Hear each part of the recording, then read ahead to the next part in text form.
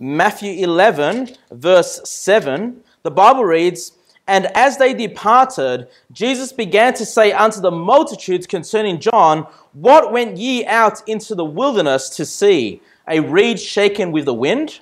The title of the sermon tonight is Into the Wilderness. We'll have a look at what this, what this phrase is about. What does it mean to go into the wilderness? What did these people aim to see when they went into the wilderness? So let's, let's pick it up from verse number 1 there. Matthew 11, verse 1, the Bible reads, And it came to pass, when Jesus had made an end of commanding his 12 disciples, he departed thence to teach and to preach in their cities. Just the first thing that I want to point there, verse number one kind of feels like it's part of the previous chapter. It kind of is because Jesus Christ sends out his 12 apostles into every city. He gives them power to cast out devils, to heal the sick, to go and preach the gospel. So he sends out his 12. But even though he sends out his 12, we see that Jesus himself departs thence to teach and to preach in their cities. Now, let me say something about this, okay? If we look at Jesus Christ as our ultimate example, if we look at Jesus Christ as the chief shepherd, as the good shepherd, all right, as, as, it were the pastor, the pastor of the sheep, even though he sends his 12 to go and preach the gospel, he himself goes out into every city, into every town to teach and to preach. All right? So when I look at a passage like this, I'm encouraged as a pastor, not only should I be telling people to go out and do the great works of God, not only should I tell my congregation the need to go and preach the gospel, but if I'm not doing that, if I'm not setting a good example within my own church, then I'm not doing, I'm not following the steps that Jesus Christ has left us here in verse number one. But let's keep reading verse number two. Now, when John had heard in the prison the works of Christ, he sent two of his disciples. You see, John, the John here is referencing John the Baptist. And we know about John the Baptist, he came and prepared the way of the Lord. He came and prepared the way for Jesus Christ, that many would come and believe on Jesus Christ. And we see, we pick it up here, that he's in prison. We see this great prophet of God in prison. And we know what the reason for that is. If you know, okay, Herod the Tetrarch, or Herod, his name is also Herod Antipas, you know, John the Baptist had preached against him because he took his brother's wife. And he preaches against him, so Herod takes him and puts him into prison because he doesn't want to hear the word of God. Now, if you're curious about who this Herod is, this is the son of Herod the Great. And if you remember who Herod the Great was, at the birth of Christ, Herod the Great tried to kill baby Jesus. Remember that? When, when, he, when, he, when he put in order to kill all the children that were two years old and under, that was Herod the Great. He ends up dying, if you remember, when, they, when, when Joseph takes his family to Egypt. And so they come back out of Egypt. But this is now Herod, the, uh, the tetrarch, his son. He'd taken his, his brother Philip's wife. And so we see John the Baptist in prison. It says there in verse number three, and said unto him, this is, this is the message that John the Baptist is sending to Jesus Christ. And he said unto him, Art thou he that should come, or do we look for another? Now, John the Baptist came to, to prepare the way of the Lord. And now we have John the Baptist in prison. He's discouraged and he's asking Christ, Are you the Christ? Are you the one that I came to prepare the way for? And what I want to bring to your attention there, though, even though John the Baptist is a great man, and yes, in the, in the following chapter, a chapter, we'll see how great this man was, but even he, in the face of persecution, even here, here, um, he being thrown into prison, had doubts of Christ. Even he got to a point where he got discouraged, he got backslidden, and he didn't know, is this true, the Christ that I had come to prepare the way? And let me just tell you this you might find yourself in a position where you're discouraged. You might find yourself not reading your Bible anymore, not truly seeking the Lord. He seems so far away, and you're wondering, why is the Lord so far? What, you know, what is wrong with me? Am I saved? And you start asking these questions, you start having doubts about your faith. But let me say, this is normal. This is a normal part of life. And this is why God gives us the example of John the Baptist, a great prophet of God. And even he had doubts. You know? And uh, let's keep reading there in verse number four. How does Jesus reply to, reply to the disciples of John the Baptist? It says, Jesus answered and said unto them, Go and show John again those things which ye do hear and see. The blind receive their sight, and the lame walk the lepers are cleansed, and the deaf hear. The dead are raised up, and the poor have the gospel preached to them.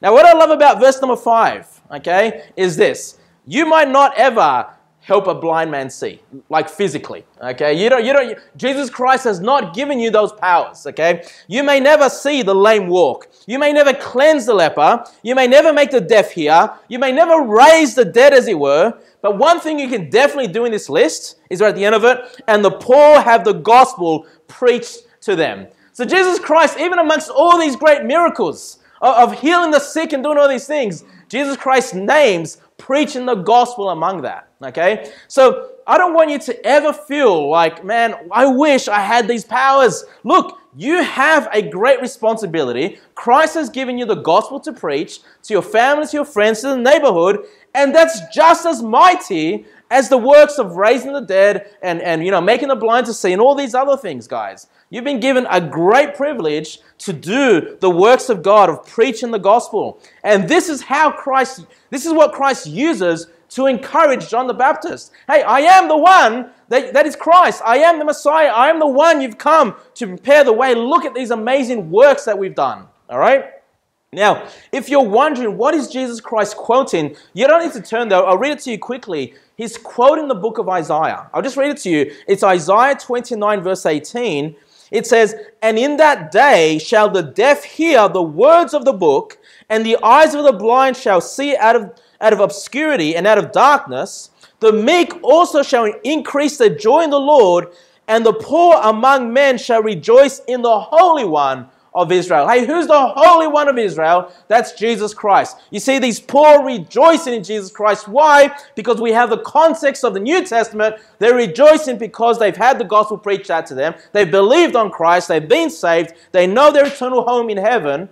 And so, what Jesus Christ is telling John the Baptist, hey, this is a fulfillment of Old Testament prophecy. This is a fulfillment of what Isaiah spoke about. Yes, I'm a fulfillment of that prophecy, but so are you, John the Baptist. He's encouraging John the Baptist. Look at verse number six. And then he says, And blessed, yeah, we're reading from Matthew 11, guys, if you want to turn there. Matthew 11, verse 6, it says, And blessed is he whosoever shall not be offended in me.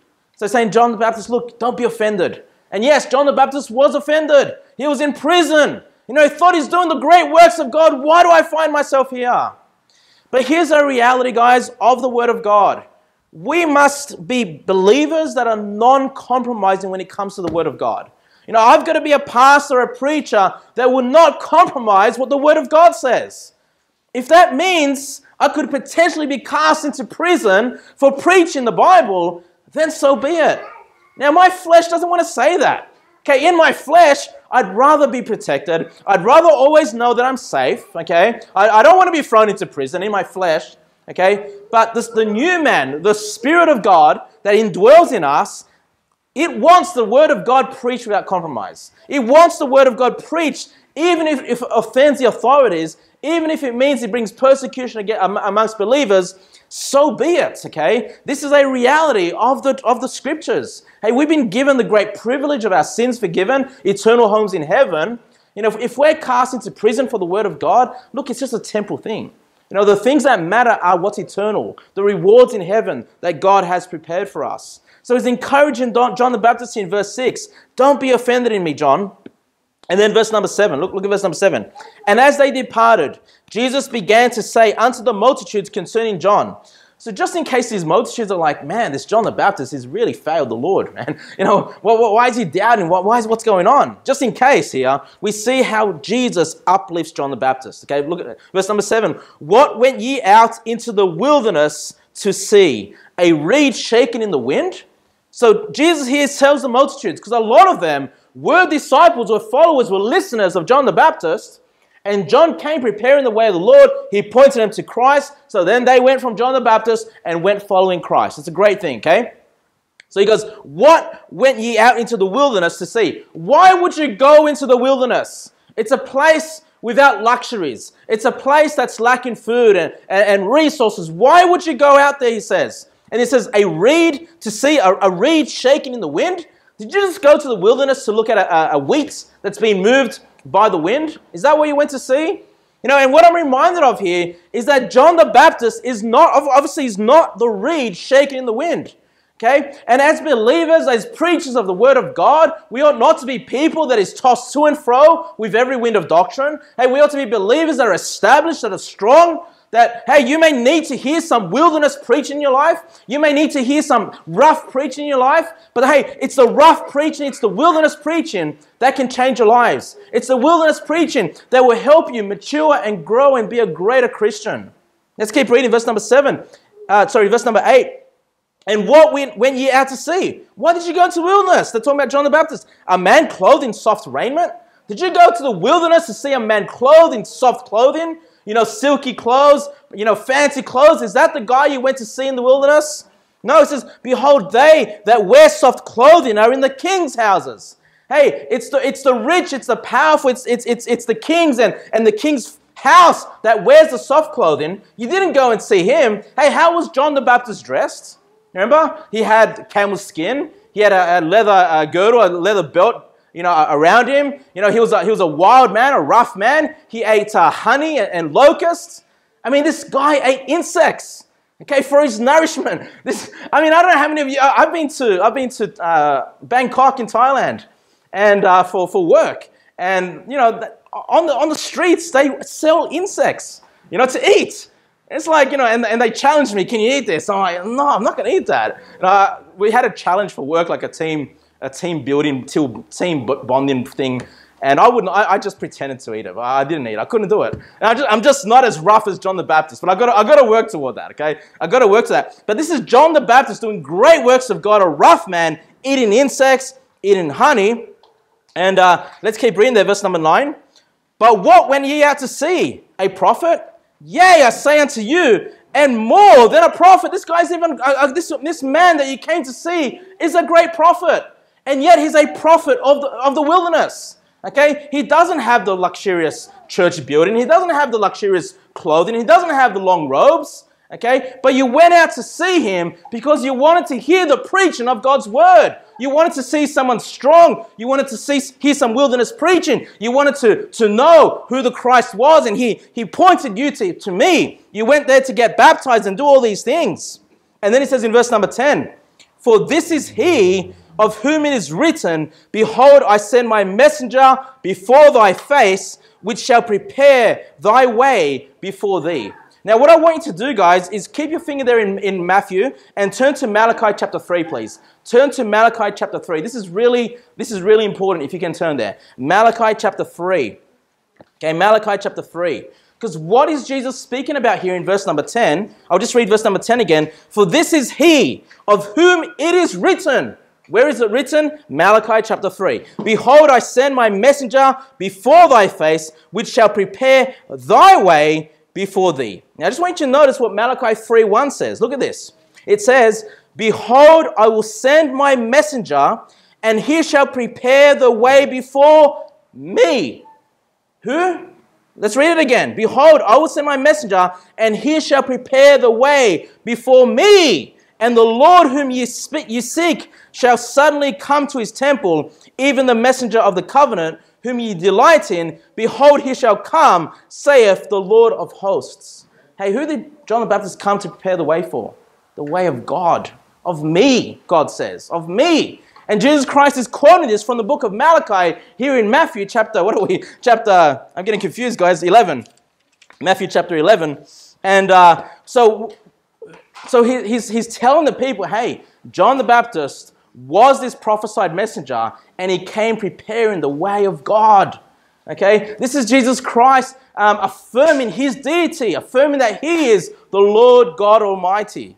Okay, so we see that Jesus Christ lifts up John the Baptist. And one thing I want you to understand here is that John the Baptist was depressed. He was down. He had doubts. But how does Jesus respond? Does Jesus criticize him? They say, John the Baptist, you're, you're an idiot. Why are you discouraged? Why are you let down? No. You see, he encourages John the Baptist. He speaks well of him. And guys, the same thing for you. You know, you in your spiritual walk might be let down. You might be discouraged. You might be backslidden. And you might be ashamed to come before the Lord and say, Lord, help me, encourage me. But it's exactly what God wants to do for you. It's exactly what He wants to do. He wants to encourage you and speak well of you, speak highly of you, okay? He wants you back on your feet, encouraged, preparing yourselves, preparing the way of the Lord. Hey, yourselves doing the work that God has left us to do, okay? We've all been given work by our Lord God to accomplish. And look at verse number 11. Go back to Matthew, Matthew 11, please. Verse number 11. Matthew 11, verse 11. And look, look what Jesus says about John the Baptist. Verily I say unto you, among them that are born of women, there hath not risen a greater than John the Baptist. I mean, I mean that, that's, that's amazing words. All right? I mean, among them that are born of women, that's all the men that have ever existed, of all the people that have ever existed, he says John the Baptist is the greatest. Okay, and there we have John the Baptist in prison. Okay, but he's in prison for preaching the word of God. All right? Now, look what it says here. And some people struggle with, with the second part of this verse. It says, Notwithstanding, he that is least in the kingdom of heaven is greater than he. So, some people get this confused. But let me explain this very simply, okay? John the Baptist, the greatest man that ever lived, as far as Jesus Christ is concerned, okay? The, the greatest man, you can be greater than him. Okay, and how? You say, how can I be greater than him? By just being the least. By just by being the least in the kingdom of, of heaven. Okay? Say, look, if all you do in your life is get saved, you hear the gospel, you get saved, you have, you, you, you know, you have the foundation of Christ in your life, you know what? When you get to heaven, you're going to have the greater riches, you're going to have greater honor, you're going to have a greater life than the great things you can accomplish on this earth. Okay? So I want you to think about this perspective. It's not saying that John the Baptist is the least in the kingdom of heaven. That's not what it's saying. It's just saying the, being the least in heaven is better than all the success you can have in this life. Okay? That's what it's saying. So, of course, look, I don't think any of us, if John the Baptist by Jesus' standard is the best, I don't think any of us are going to be greater than John the Baptist in heaven. Okay? But being the least is still better than being like the best pastor on, on this earth, okay? This, this temporary life that we have in comparison to eternity is, is very small. It's, it's very insignificant, okay? But this is why God has given us our lives so we can focus on eternity. So we can be, wow, this is going to be awesome in heaven and build our treasures there. That our focus would not be on just temporal things. We wouldn't be just be focusing on how much money we can make in this life, but we can be focusing on, how, on, on the treasures that we can have in heaven. Because that's where it's going to matter. That's where, that's where eternity is. That's what matters in the long run, okay? Heaven. Verse number 12. And verse number 12, guys, uh, I don't know, I'm going to give you my best shot at this, all right? Verse number 12. And I'll, I'll, be honest with you, verse number 12 for me has been something I've only learned a few months ago, okay? But look at, look at verse number 12. It says, And from the days of John the Baptist until now, the kingdom of heaven suffereth violence, and the violent take it by force. Say, what is that about? Okay, now I'll give you just one quick thing that I've heard people struggle with this verse a lot, okay? Now, that I understand it, I don't think it's that confusing, but people really struggle with this. One teaching I've heard is they're talking about the Roman Empire. They're saying the kingdom of heaven, that's the kingdom of Israel, and, you know, since, John, since the days of John the Baptist, the kingdom of heaven or Israel uh, suffers violence because of the Roman Empire being, being under the authority of the, of the Gentile nations. That's something that I've heard. But that makes no sense at all. Okay? The reason it doesn't make any sense, it says verse 12, and from the days of John the Baptist. Okay? So Roman Empire, if you know your history, before John the Baptist, they were already, they already had control over that land. Okay? So it doesn't make sense that it's from the days of John the Baptist. But I think the key here to understand here in verse 13 is this. It says, For all the prophets and the law prophesied until John. Okay? Now, verse 13, when it says, For all the prophets and the law, what are we talking about? We're talking about the Old Testament scripture. Okay, the Old Testament scripture. There's two ways to look at this. That um, the Old Testament scriptures, and uh, um, we know that uh, at the end of the Old Testament, it prophesies of John the Baptist coming into the world to prepare the way of the Lord. That's one way to look at it. That the, that the law and the prophets, uh, the prophets and the law prophesied until John, meaning they prophesied of John. That was the last thing they prophesied of. That's one possible scenario of looking at this. The other way of looking at this is that all of the Old Testament were until John the Baptist. Because when you look at John the Baptist, he was the last Old Testament prophet. And then we have Jesus Christ, who at his death and resurrection brought in the New Testament. Okay, so we see that John the Baptist, in that sense, is also the last of the Old Testament prophets. Now let's understand what's going on here, guys. Keep your finger there. Keep your finger there. Turn to Galatians chapter 3, please. This is a bit of a Bible study, but let's look at this. Galatians chapter 3, verse 21. Galatians chapter 3, verse 21. So we know this is about the Old Testament. Verse 13 made that clear, okay? For all the prophets and the law prophesied until John. What is God's purpose for the law? What is God's purpose for the commands and the laws that God has given us in the Old Testament? It's, it's found here in Galatians chapter 3, verse 21. Galatians chapter 3, verse 21. It says, Is the law then against the promises of God? God forbid, for if there had been a law given which could have given life, Verily, righteousness should have been by the law. Now, let me just quickly talk about a false doctrine that's out there. Some people say that the Old Testament saints, the Old Testament prophets, were saved by works. They were saved by keeping the law. That's such a ridiculous teaching because we know that no flesh can be saved by keeping the law. And verse number 21 makes it clear, right? It said there, For if there had been a law which could have given life, meaning that no man of law keeping can give anybody any life. Okay? Let's keep reading. Verse number 22. But the scripture have concluded all under sin that the promise by faith of Jesus Christ might be given to them that believe. Hey, how do we get the gift of faith? Or how do, how do we believe? How, how do we, how do we, uh, how are we no longer under sin? By believing on the Lord Jesus Christ. Verse 23. But before faith came, we were kept under the law, shut up unto the faith which should afterwards be revealed. Now look at this, verse 24. Wherefore the law was our schoolmaster to bring us unto Christ, that we might be justified by faith. But after that faith is come, we are no longer under a schoolmaster. So, what is the purpose of the law, of the prophets and the law? What's the purpose of the Old Testament? It's so that we see ourselves as sinners. Okay? We see ourselves as sinners. It's the schoolmaster that will bring us to Christ. Because it's when you realize that you're a sinner, when you realize you've come short of the glory of God, that's the point when you realize, I need a Savior. I, I, I need Jesus Christ. He died for me. It's a free gift. It's by faith. Great. This is good news. I'm going to believe on Him. All right? Say, what does this have to do about the violent taking it by force? We'll get there. All right? Turn to Genesis 21 now. Genesis 21, verse 25. Genesis 21, verse 25. I just want to compare scripture with scripture here because a lot of people struggle with that verse, okay? But I believe I have the answer now. So I want to tell you, I want to show, tell you guys what that is. Go to Genesis 21, verse 25. Because when we compare scripture with scripture, it really helps us understand some maybe cryptic words or, or cryptic uh, verses in the Bible. Genesis 21, verse 25. Now look at this. And Abraham reproved Abimelech now, just quick history Abimelech was the king that wanted to marry Abraham's wife. And Abraham kind of lied, and said, Oh, that's my sister. They, it was his half sister or something like that, okay? But that's Abimelech. And then now they want to they wanna have peace, okay? They want to they wanna have a covenant between the two of them. It says, And Abraham reproved Abimelech because of a well of water which Abimelech's servants had violently taken away. Hey, that kind of sounds like what we saw before about the, the violent take it by force, the kingdom of heaven by force. Okay, do you notice here that Abimelech's servants had violently taken away a well of water that Abraham wanted to use for his, you know, for his servants, for his flocks? And if you get the context of this, the reason why Abraham's um, uh, upset about this is because Abraham himself dug this well. It was Abraham's well, and Abimelech's servants had tried to take it away, had, uh, or you know, from from uh, from uh, Abraham.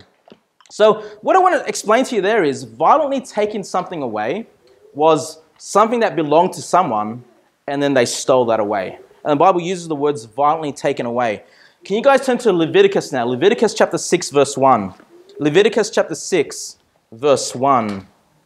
Leviticus chapter 6, verse 1. The Bible says, And the Lord spake unto Moses, saying, and look at this, if a soul sin and commit a trespass against the Lord and lie unto his neighbor in that which was delivered him to keep, or in fellowship, or in any or in a thing taken away by violence, or have deceived his neighbor. So we have here in Leviticus some other sins, some other crimes that can be committed. And if, if your neighbor's given you something but you've taken that away, you've stolen that away, it's something the neighbor cannot use. Did you notice that it said, or, or, or in a thing, taken away by violence? Taken away by violence, okay? Because the word violence means violate. You know, when you steal something from someone, you have violated that person. They cannot use that object that they once had, you've violently taken that away. Now go to the book of Deuteronomy, please. Deuteronomy chapter 16, or 28, sorry. Deuteronomy chapter 28. You're not far from there. Deuteronomy chapter 28, verse 31. I just want to show you the consistency of the Bible, and then we'll go back to Matthew, 20, uh, Matthew 11. Deuteronomy chapter 28, verse 31. Now look at this. And by the way, Deuteronomy chapter 28 starts off by God blessing Israel. God says to Israel, if you keep my commands, if you follow after me, then I'm going to bless you. Okay? But then he says to Israel, if you disobey my commands, you break my commands, you move away from me, then I'm going to curse you. What we're reading here in verse uh, 31 is part of that curse, part of the curse that God would put upon the people of Israel. And it says here in verse 31 Thine ox shall be slain before thine eyes, and thou shalt not eat thereof. Thine ass, that's your donkey, shall be violently taken away from before thy face, and shall not be restored to thee. Thy sheep shall be given unto thine enemies, and thou shalt have none to rescue them.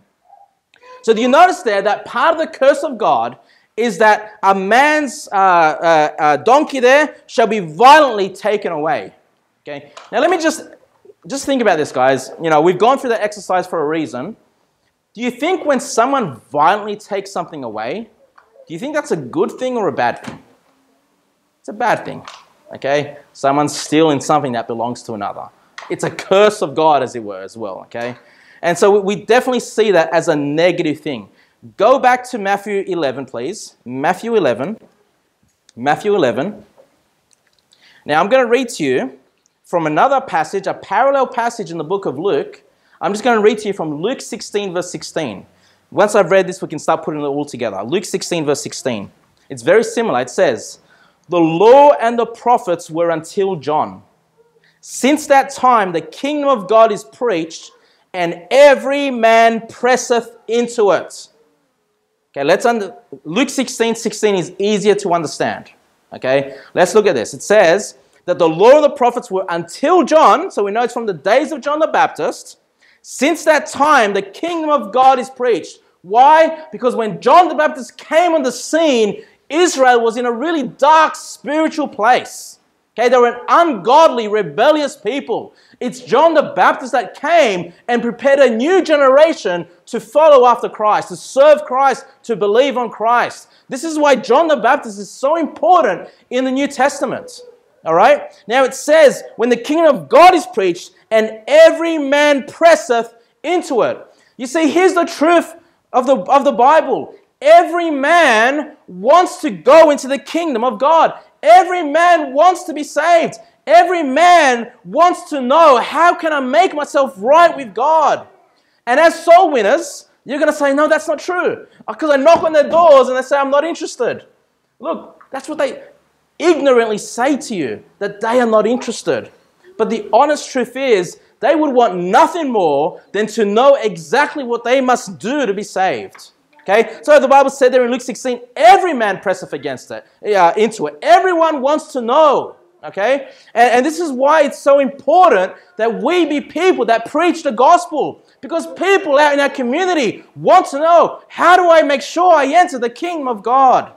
But what has Satan done? Satan set up his false religions, the false gospels, the works based gospels, the other gospels, the other Jesuses, the other spirits you know, the other so called Christian churches that are leading people to hell.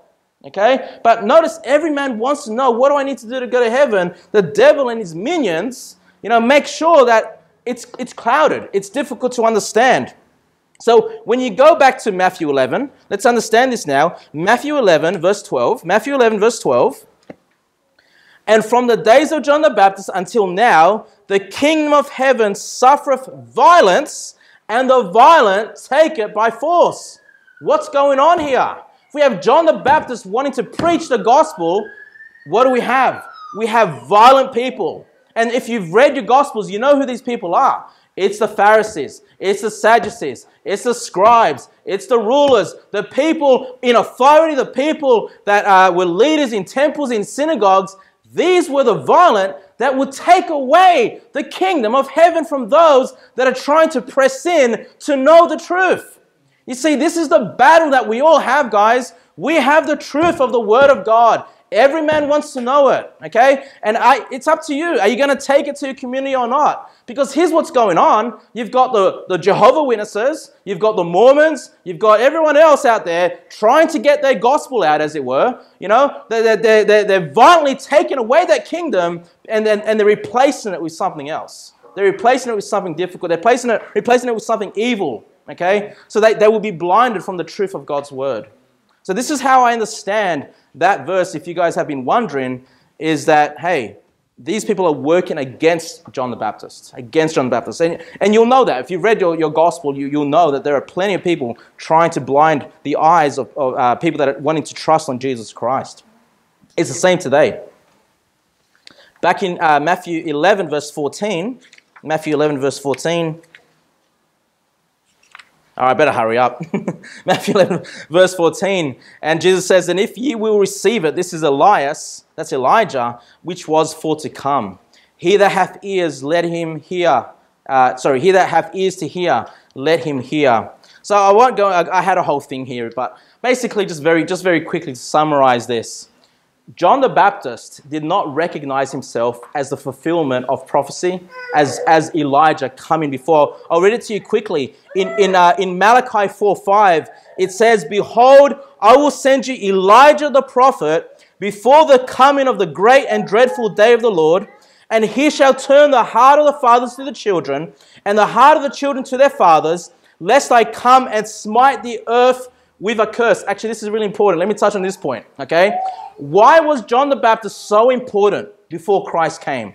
It just said it there in Malachi 4, 5, 5 uh, verse 6. It says, Lest I come and smite the earth with a curse. You know what? If John the Baptist did not come before Christ, Christ would have turned up and be like, Look at this wicked nation. He's going to smite them with a curse. It's just going to destroy the nation of Israel because their hearts were so darkened, were so turned against the Lord that the Lord would just come and smite them with a curse. This is why John the Baptist had to come as a forerunner and get a new people prepared to believe on the Lord Jesus Christ. But here's the thing the Bible in the Old Testament calls John the Baptist Elijah, and we know that Elijah in the Old Testament was a prophet. But then when Elijah is asked the question, Are you Elijah? He says, No. But then when Jesus says, Jesus says, yep, that was Elias. That, that was, I mean, yeah, that was Elias, which was to come.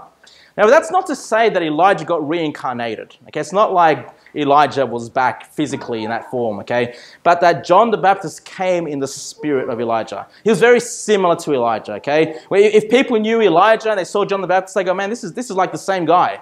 You know, have you ever, you know, has anyone ever said to you, you know, you remind me of, of such and such, you remind me of, of this person, you remind me of that person. It's kind of the same thing. I remember when I went, went to um, one of my old churches, Victory Baptist Church, like the first time I went there, you know, I didn't know anybody. And uh, there was a lady that just kept looking at me, just kept looking at me. I'm like, why is she looking at me? At the end of the service, she came up to me and said, can I just ask who your parents are? So I gave my parents' name. I go, I knew it. I knew that you were the son of, you know, Ernesto, you know? And she only knew me as a, like she knew me as a little baby. I've never met this lady before, before that, you know? She knew me as a little baby, but for some reason, I don't know, my, my appearance or my mannerism reminded her of, of my dad, of, of, you know, of my father. So it's kind of the same thing. When John the Baptist came on the scene, it's not like he was Elijah reincarnated. It's just that he was so similar to Elijah. And so he came in that same spirit and the same power of Elijah. But yeah, I had a whole other thing to cover there. We'll move on. Verse number 16, please. Matthew 11, verse 16.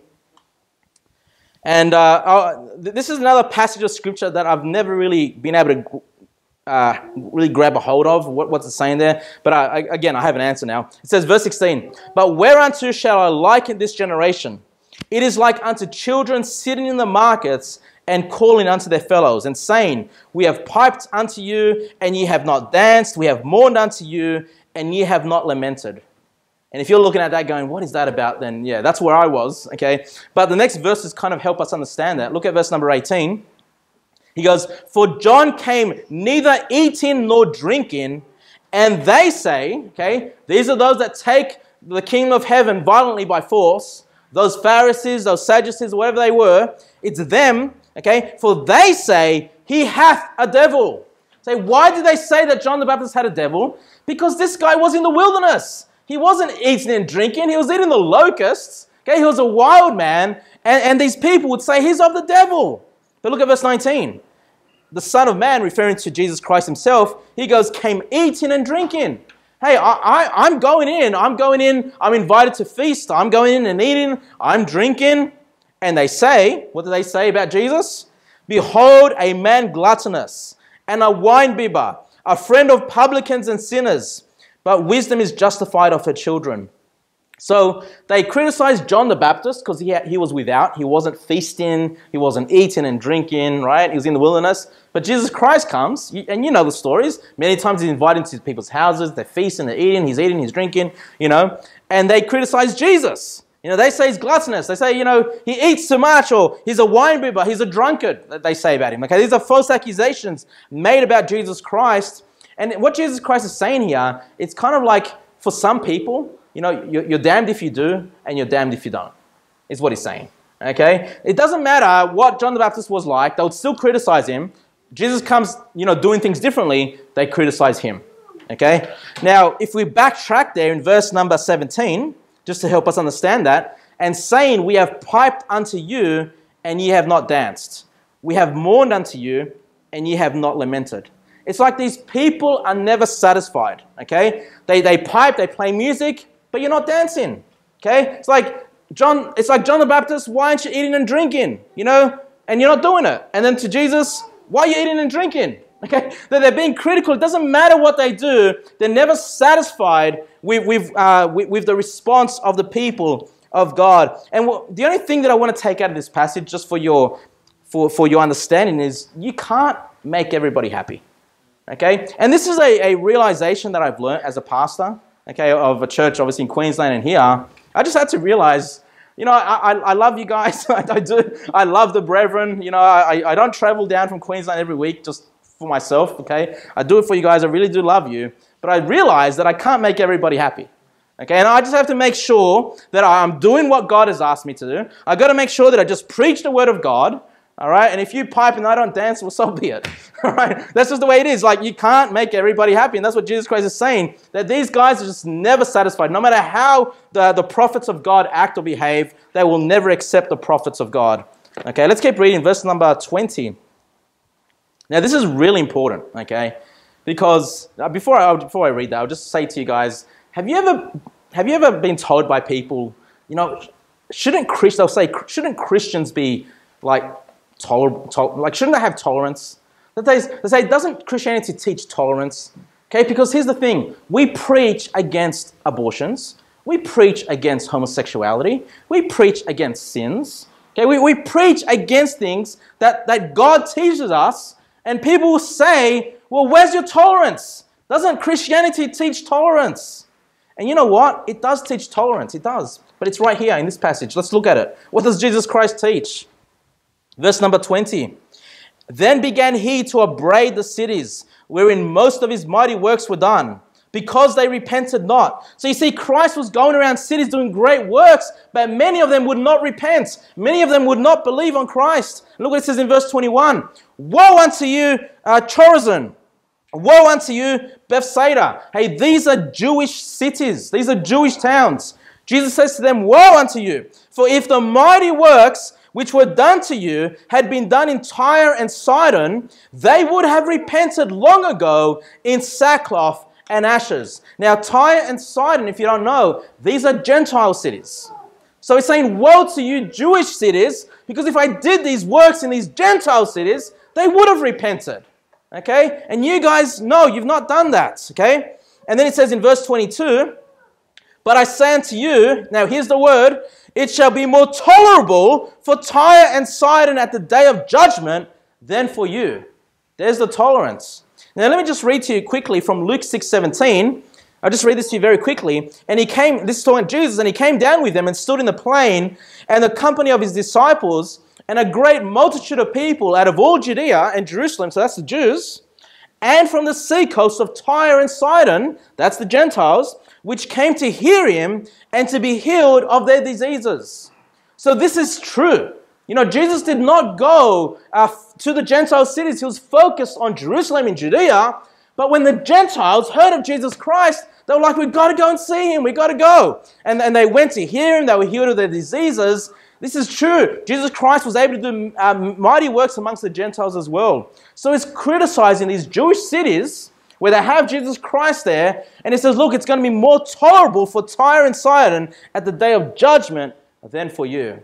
Hey, look, there's coming a time when every man is going to be judged by God. Now, if you're a believer, praise God, you're not going to be judged for your sins. You're not going to be judged for rejecting Christ, okay? You're going to be judged for the works that you've done for Christ, and Christ will reward you, okay? You're not going to have to answer for your sins because Jesus Christ already nailed those sins on the cross 2,000 years ago, okay? The, your past, present, and future sins. You know, praise God, we're not going to be judged for our sins. We will be judged by our works, okay? So try to make sure your works have eternal value, okay? It's going to matter when you stand before God. But for the non believing, they're going to stand before the great white throne judgment of God. They will also be judged by the works. Say, why are they going to be judged by their works? Because they believe they can be saved by their works. They believe, hey, I'm a good person. I've done my best for God, and God's going to judge their so called goodness next to the law of God, next to the perfection of God, and they're going to come short, okay? They're going to come short, and they're going to be thrown into the lake of fire. But notice that on the day of judgment for the non believing cities, it's going to be more tolerable for some than for others. Okay, meaning that hell is not this equal place. Okay, it's not like equal suffering in hell. For those that had the greater opportunity, those these people in these cities where Christ did his amazing works, but they still rejected him, it's going to be more tolerable for the city that didn't have Christ there, okay, and they still didn't believe, but because they've had the works done, they're going to suffer a more terrible punishment. Okay, it's going to be more tolerable for the ones that uh, didn't have the opportunities as other people. Now, I want you to consider this. Uh, you know, this is really important because you know I have children. Many of you guys have your own children. You know, we go to church. We grow up into church. Our children go to church, and I want you to make sure you never neglect your children. Okay, I've been in church my whole life. How many times have I seen children go up into teenagers, they want nothing to do with church? You know, how many children do I see grow up and want nothing to do with Christ? They grow up and they're not even saved. Okay? They've had the opportunity to hear the gospel. They maybe you heard it week in and week out. Sometimes parents, we, we let down our kids. We think, oh, we'll just bring them to church and they're going to get it. No. Parents, we need to invest our time into our children. Because if our children hear the gospel, they come to church, they hear the good news, but they don't believe it, they reject it, reject it, reject it. Hey, they might get to a point when they stand before God and it's going to be more tolerable for others than it is for them. Okay, it's really, really important. Let's keep reading verse number 23. And thou, Capernaum, this is another Jewish city, which are exalted unto heaven, shall be brought down to hell. So we know this judgment is the judgment to hell here, okay? They were brought down to hell. For if the mighty works which were have been done in thee had been done in Sodom, it would have remained until this day. We know the story of Sodom and Gomorrah. We know that Christ rained down fire and brimstone on these cities, okay, and destroyed them, okay, that reprobate city. But you know, before they got to that point, Christ says, if I came and did the works in Sodom, they would have repented. Okay, before they got to that point of rejection to Christ. Okay? And look, I mean, how bad is Sodom and Gomorrah? And yet for Capernaum, it's going to be worse. For the non believers in Capernaum, their suffering in hell is going to be worse than for those that died, that perished in the story of Sodom and Gomorrah. So we see, yes, the Bible teaches tolerance. It's about hell. Okay? It's how bad, you know, how tolerable will hell be for some people. You know, for those that were, you know, you know, exceedingly wicked, for those that had the opportunities but they still rejected Christ, hey, their suffering in hell is going to be so much worse than for others that maybe just ignorantly went about life, you know, whatever, and, uh, and, and died a relatively re- reasonable person, I suppose. They're still going to hell, but they're not going to suffer. It's going to be more tolerable for them than it is for those that had the opportunity. Let's keep reading verse number 25. Verse number 25. And uh, at this time, Jesus answered and said, I thank thee, O Father, Lord of heaven and earth, because thou hast hid these things from the wise and prudent, and hast, and hast revealed them unto babes. Even so, Father, for so it seemed good in thy sight. So the wise and prudent that Jesus is speaking of here, that was obviously that generation that is critical of John the Baptist, critical of Jesus Christ. But he says, look, the Father has allowed this to be revealed to, unto babes. Hey, why, what, what's he talking about? You see, for us to receive Christ, for us to know what the Word of God says, okay, we can't be wise and prudent in our own eyes. We can't be that way. We've got to be like babes. We've got to have the humility of little children. And you know, parents, you tell your child something and they'll believe you. You know, children aren't there kind of wondering, you know, dad said this, is that true? Is that no? If you tell your children something, they'll just believe it. Okay? It's the same thing. When we learn about the gospel, all of us, if you've been saved, all of us had to get to a point of humility and go, well, that's the word, what the Word of God says. That's what it says. I guess I have to believe on Christ. I realize that I can't be wise and prudent. I can't be puffed up. I can't be prideful. I can't get myself to heaven. I have to lower myself and accept what Christ has done unto me. Hey, but this is the same thing even after you're saved. You know, even as a preacher, when I study my Bible to bring your sermon, I've got to come as a little babe. Okay? Because it gets things get revealed to babes. Things get revealed to those that have humility. If I come here trying to impress you with my wisdom and, and my understanding and my, and my studies, that's not what it's about. You know, I'm trying to come and preach the word of God to you, and I try to come with humility. Because, I, you know, I've got a fear, like, as far as God is concerned, you're like the best people in the world. You're like, you're like, you're the best people, okay? You're the children of God. And God says to me, Can you feed my children? Right? I mean, think about how scary that is. Like for a minute, if you kind of think about that, right? Put it this way. And uh, you probably don't even care about the Queen of England, but let's say you were a chef and, and you were hired to cook a meal for the Queen of England. Okay, and you were just, you probably don't care because you're a believer. You're like, whatever. Okay, but if you were just a worldly person, you're like, you're going to be nervous, aren't you? You're going to be afraid. You're going to be, you're going to be like, man, I hope this person, you know, enjoys my cooking. I hope I don't, I hope I don't mess it up. Hey, when I come preaching to you, it's the same thing. You know, the Word of God is, is the food of the Spirit. It's, it's the bread, okay? It's the bread for the Spirit. And when I come preparing a sermon, it's the same thing. I, I know you guys, in God's eyes, are the most important people in the world. Okay, you're his children, and he's like, "Can you feed them, please?" I'm like, "Oh man," you know. I realize now just how important the job is as a pastor, as a preacher. Okay, but the only way I'm going to get the, the wisdom of God, the insight, and the food to feed your spirits is by being babe, by being humble and hearing from the Word of God. Let's keep reading verse number uh, 27. And we'll just, we'll just wrap it up now. But uh, verse 27, I won't expand too much on these verses. It says, All things are delivered unto me of my Father, and no man knoweth the Son but the Father, neither knoweth any man the Father save the Son, and he to whomsoever the Son will reveal him. You see, the only way to the Father, the only way to the Father is through the Son through the Son, by, through Jesus Christ. And of course, John 14, 6, Jesus saith unto him, I am the way, the truth, and the life. No man cometh unto the Father but by me. You see, these, these Jews, these people that rejected Christ, they wanted to make it to the Father, but they didn't want to do it through the Son. Jesus Christ was coming, doing great works, you know, teaching them great things, offering himself, and they still rejected him. And he's just reminding, hey, without me, without the Son, you're not going to make it to the Father. Let's keep reading verse 28. And this is the promise for us, guys. This is the promise for us, okay? Verse 28 says, Come unto me, all ye that labor and are heavy laden, and I will give you rest, okay? So, first thing, if we want to apply this to salvation, again, how many people say you've got to labor to get saved? You've got to do the hard, the good works. You've got to try really hard. You've got to try to stop sinning. You've got to go to church. You've got to get baptized. You've got to do this. You've got to do that. You've got to keep that sacrament. You've got to keep that sacrament. No, okay? Laboring to heaven's not going to get you there. Jesus says, Come unto me, all ye that labor and are heavy laden, and I will give you rest. You see, salvation has been completely paid for by the works of Jesus Christ. All that's required from us is to rest in Him, to rest in the, in the work that He has done. And once you've done that, once you've been saved, verse 29, Jesus says, Take my yoke upon you. Okay? What's a yoke? Something that, that, uh, that puts two things together. Jesus Christ wants to work with us. Take my yoke upon you and learn of me, for I am meek and lowly in heart, and ye shall find rest unto your souls. For my yoke is easy and my burden is light. So, how do I serve the Lord? How do I do the works that God has left me to do?